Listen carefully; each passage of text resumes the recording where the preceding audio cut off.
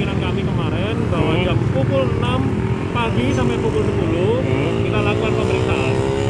Ya kita memberikan prioritas pada yang esensial dan kritikal.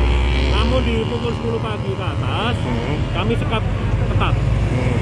10 pagi ke atas sampai nanti malam pukul eh, 10. Ya, yang diputerbalikan yang kami anggap kami nilai bukan esensial dan kritikal, Hmm. kemudian itu tidak, tidak membawa eh, persyaratan seperti STRP. Hmm. Bagi yang persyaratannya lengkap bahwa surat dari kerjanya STRP boleh lewat.